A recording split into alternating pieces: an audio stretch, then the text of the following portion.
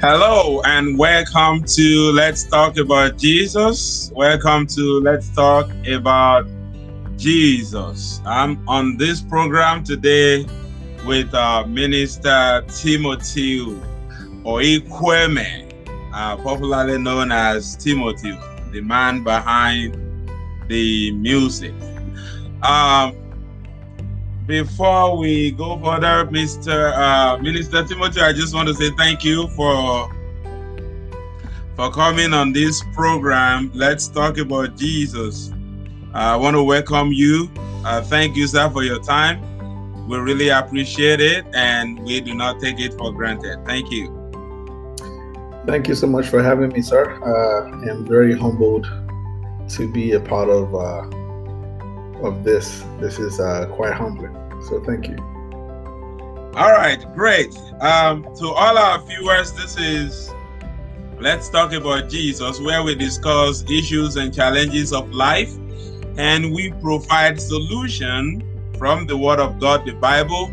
And so, if you have not been listening to us, please go to the YouTube and go there, listen to us at Let's Talk About Jesus uh, also, we are all on uh, podcast too, so you can get it on podcast wherever you get your podcast from, be it Google Podcast, Apple Podcast, Spotify, uh, and so on. You can get these program on there. If you would like to, you can send us email at my few talks about Jesus. You can email us at my few talk about Jesus at gmail.com. All right, Mr. and brother and minister Timothy man. Thank you, sir, again for being here. And uh, like I just said, we discuss issues and challenges of life on this program. And uh, probably uh, the viewer might want to ask, you know, what is the issue about music? What is the challenges about music? Well, I may not be in good uh, states to answer those questions, but uh, the issue uh, might be from my own view on how we have different kinds of songs nowadays being composed compared to those of old.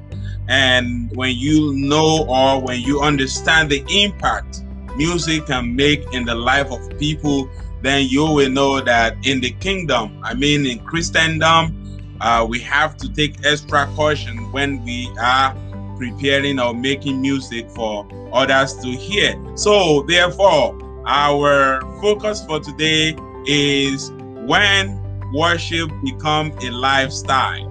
When worship becomes a lifestyle. And so, I will be asking uh, Minister Tim a couple of questions today on this program. And uh, in contemporary music, uh, there seems to be a difference in how uh, we worship God through songs when compared to those of old. And by that I mean when you look at the lyrics, when you look at the words in those songs. And so it appears that uh, people pay more attention nowadays, people pay more attention to instruments. And of course, instead of the lyrics, uh, might not be every time, but I'm very sure there are people who does pay attention to the instrument. So we now in this era we have instruments and technologies uh, that people of old didn't have. Uh, but before we actually go into my question, Minister Tim, why don't you tell our viewers or those that are listening to us who exactly is Tim? Uh Wow, that is such a loaded question. Um, it might be put very simply, but it's really not. So who who is who am I? I can only answer that by saying that I identify myself through the lens of of my maker. Uh, God. So he as put in me my that's my identity. That's uh, I'm created in the likeness of God. So who am I? Uh, and Um, that that would be my identity right now in this phase of my life. I've come to uh, understand that is one of my main purpose to worship God, to you know, to pretty much have that mindset of not just existing, but understanding my purpose, understanding my place on this uh, on this earth. So I would say I am in the image of, of Christ, of God. That's that's who I am right now. I could take an hour answering that. So all right, cool. Thank you, thank you so much. Um, the worshiper, and uh, yes, I did need a worshiper to come and let's talk about Jesus to give us the answers to my questions, and also to everyone watching us, uh, if you want to ask Minister Tim any question about worship, feel free to send in your chat and we will address your questions. And I just want to thank everyone that are watching us on Facebook and on YouTube. Thank you for your support. Thank you for watching us. We really appreciate it. And so, my question to you, Minister Tim, what is your definition of worship? Um, worship, first of all, the definition of worship uh, is the feeling or expression of reverence and adoration specifically for God it, it is meant for God. So it is the feeling or expression of reverence and adoration for God, God only. And I would say worship is a posture. Worship is a lifestyle. I'm gonna I'm gonna end that there right now because it is that's there's a there, there can be so much to say about what worship is. So, but just putting it simply, um, worship is a posture and it's a lifestyle as well. Thank you, sir. Worship is a posture and is a lifestyle. Mm. Wow. Thank you. So, my next question, of course, then is uh, if I say worship is more than music. It's more than just singing. Uh, it, it, do you agree with that statement? And if you do, I would like if you can describe to us what worship look like and why is it more than just music. Yes, I I, I definitely agree with that uh, with that statement. Um, worship is definitely more than music.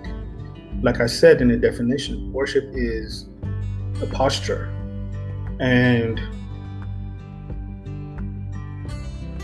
they can and it has to be also a, a lifestyle. So worship is also a lifestyle. That means that there's no time in the day that you're not worshiping or that you're not in the posture of worship. So you cannot carry music everywhere you go. You cannot play music at every every specific time. You cannot you can't sing every time. So when I say it's a posture is is a position of your heart. So God is not, you know, uh, a sister gave a sermon the other day in church and she said, God is not someone that is PRN as needed. God is someone that always has to be in our subconscious and our conscious. So it means that every single day we have to walk in um, in the in the knowledge that everything we're doing is for God. So that now begs the posture to be taken every single time. So it is definitely more than music. Music is a tool of expression, is one of the tools of expression. a lifestyle is um you know a lifestyle is a a a, uh, a permanent status of the posture we take when it comes to doing worship properly. So um, it is definitely more than music. Music is just a tool of, of expression. Is a tool of of what we use to express how we feel about god and who god is.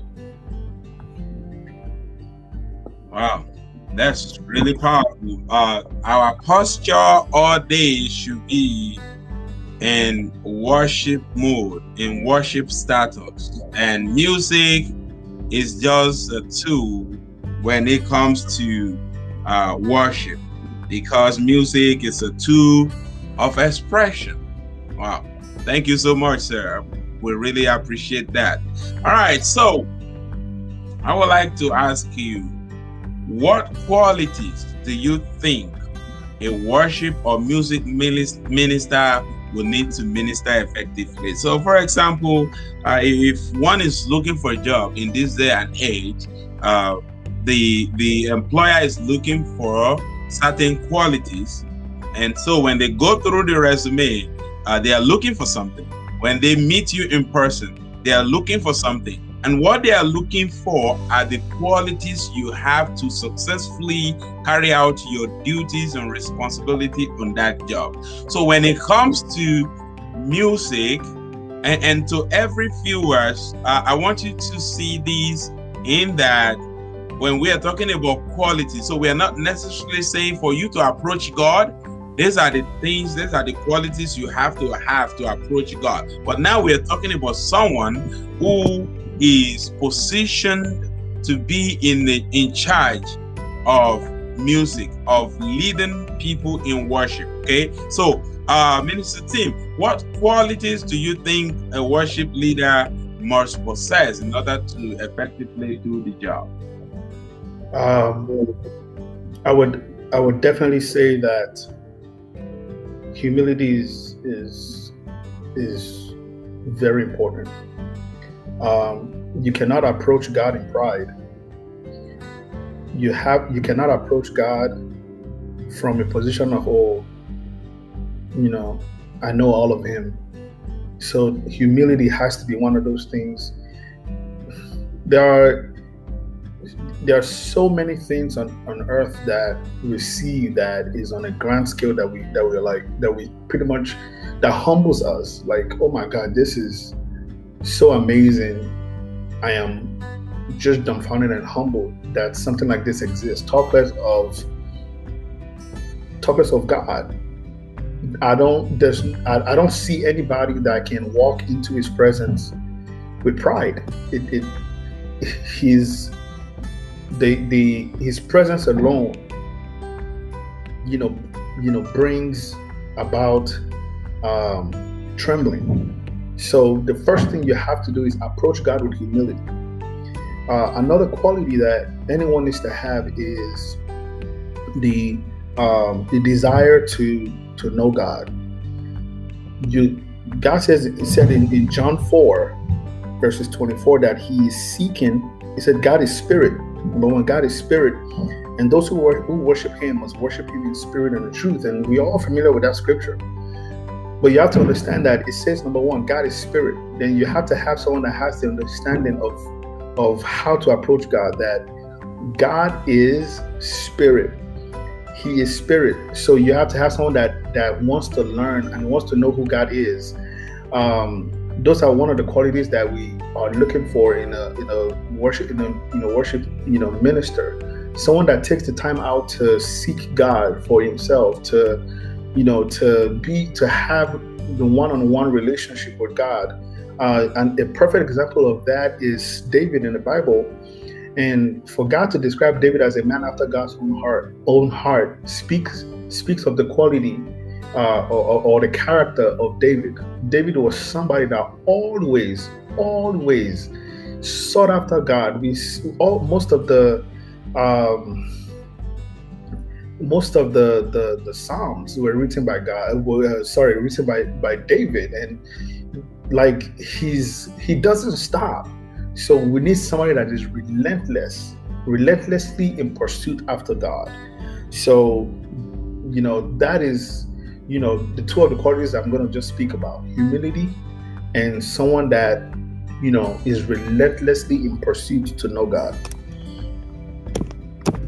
Hmm, someone who doesn't give up easily, someone who doesn't bow because of uh, certain issues or challenges of life. Thank you, sir. Uh, and uh, humility, of course, very, very key into this when one is to be a music minister.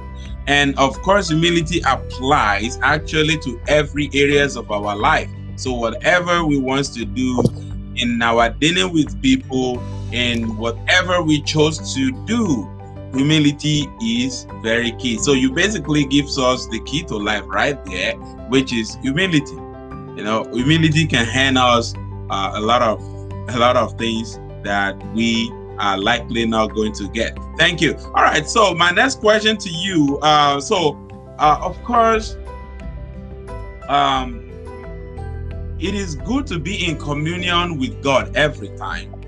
and I think a lot of people will probably agree with that. And then the reality of life is that uh, uh, some of us are not in that state of mind every time, you know, just to constantly be in communion with God, whether you are worshiping Him, whether you are uh, you are praying or praying in tongue or you are in that mood you are in that connection with him every time. So for some of us uh, that is not the case. And so the worship uh, team when we come together uh, the worship team they have that privilege of facilitate our worship uh, and then in many cases some people have unforgettable experience you know and some for years to come they remember a particular song at a particular time.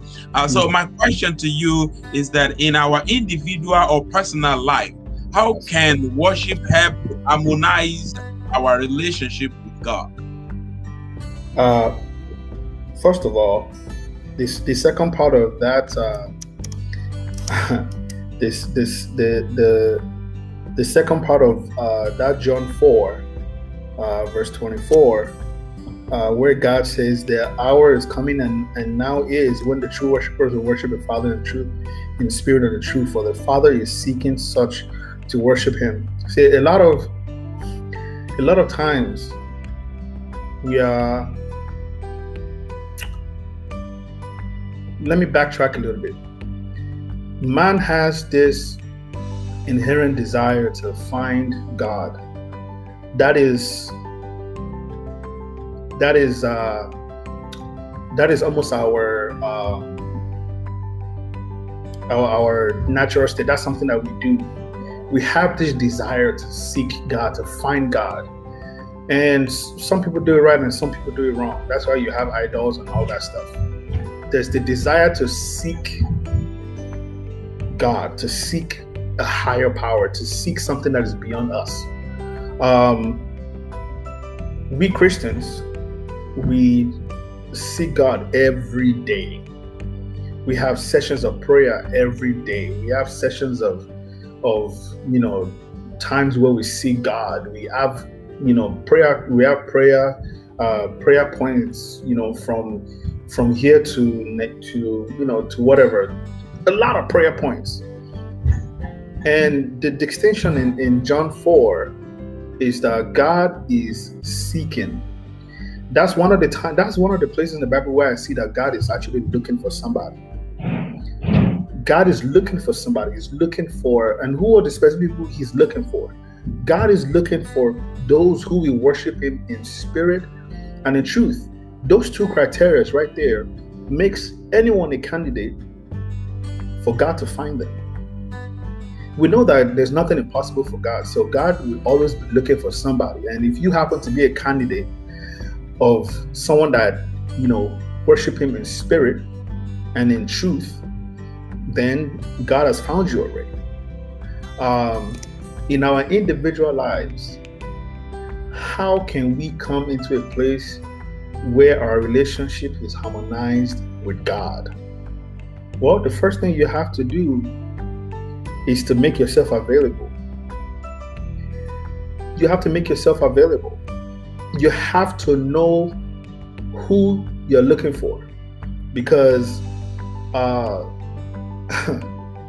we have our priorities misplaced these days.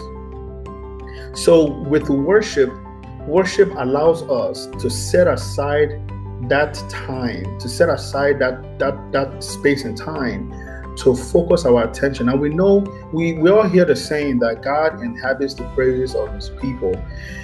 Truly is the, the incense of our worship is pleasing unto him. And there's no way that you offer up something that pleasing and he doesn't respond. He's already looking for somebody. He's looking for those. And if if you ha- if you happen to be one of the people that God is looking for, then you're a lucky man. There's nothing else that cannot be solved. There's no you don't need any prayer point. You don't need any anything else. You don't if God is looking for someone such as you, then everything about you is settled. You don't need to fight for anything. So, for those that have not taken the time to pause and to find a, a time and a space to give God, to give God a, a, a moment of of just communing with Him, and uh, worship is one of those things that allow us to do that. And even if it has to be with song, or even it ha- have to, happens to be um, just you know even silence or whatever it is just that that consciousness just just you know separate yourself and just give god that time that one-on-one and he will find you. Wow. That is powerful uh, in the sense that many a times we are looking for what has not gotten lost uh, many a times we we turn simple thing to rocket science uh, when we are supposed to just fall in line with the scriptures.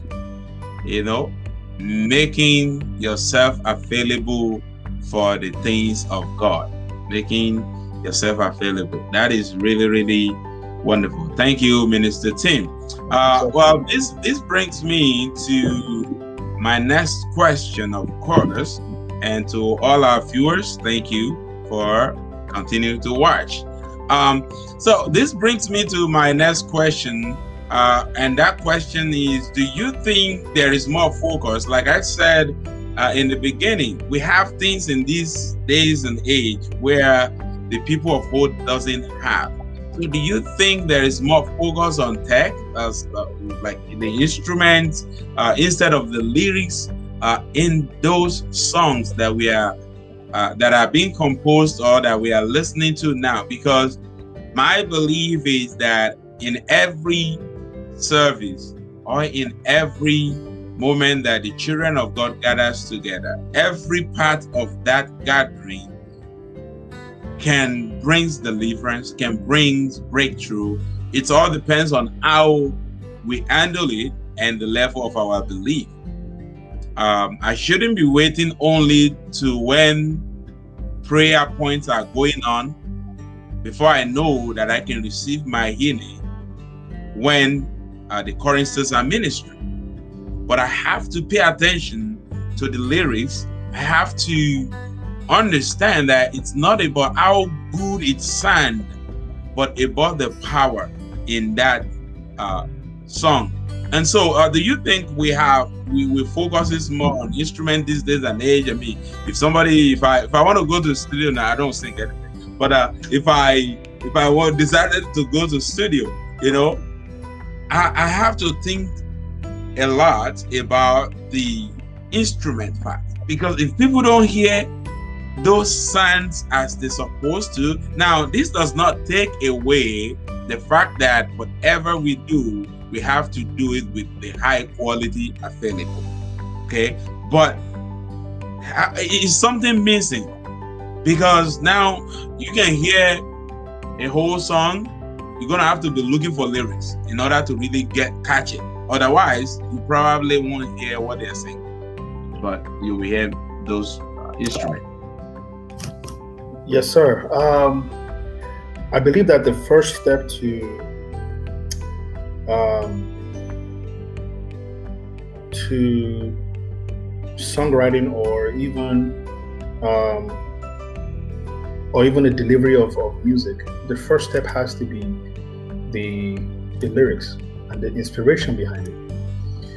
Um, I believe that there are some instances where, in comparison, uh, I should say, between the the the, the timeless hymns uh, of old that are ageless, and then songs that are, you know, so forgettable right now that you know maybe songs that are here less than three years and they're gone. We have to understand that the first step has to be um, the, the, the, the inspiration behind it. Now, just to just to break it down a little further, there are different types of of songs. Uh, there are inspirational songs. There are um, there are you know, uh, songs of uh, of uh, adoration, songs of uh, uh, intercession, songs of. So there are different types of of songs written.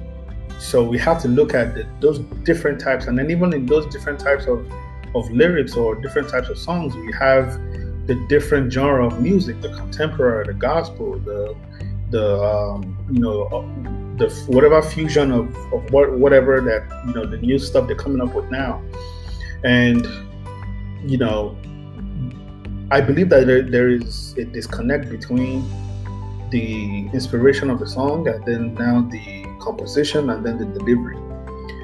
I believe that that's where um, that's where sometimes the issue is. So can should we blame tech or you know uh, the instruments? Sometimes yes sometimes no. It's just in the it, it's it's in the way that it is used.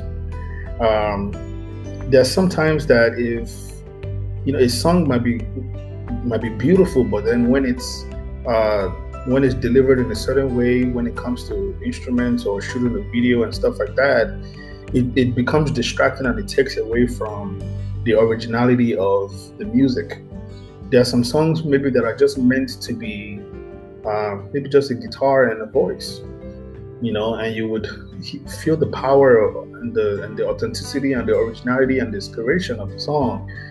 But if you take that same song and you add a whole bunch of stuff to it in the studio and or you, do it live in a certain way, then you you've watered down the the, the the you know the potent of the the potentness of the song. It, it, becomes watered down.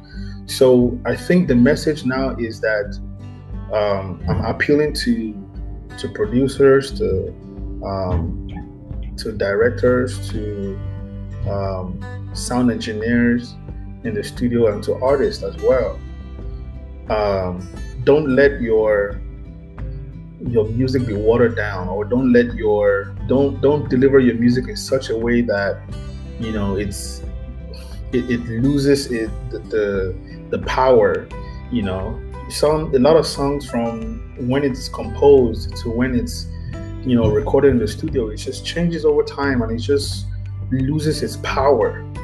So whereby you have hymns of old the ageless hymns that were composed and that is that's how we sing them in the original form. That's how we we, we get to you know to, to that's how we we have access to the, the original stuff and the and the potentness and the, the the power you know in its original form.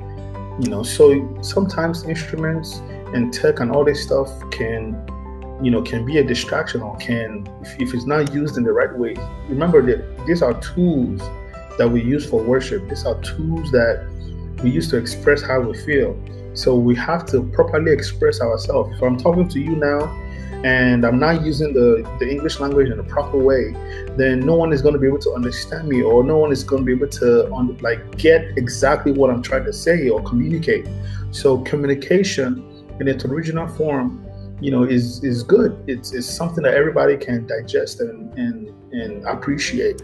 But if you start to like mess around with a whole lot of stuff and you have no understanding of, of what to do, especially when it comes to music, mixing, mastering, engineering, and all this stuff,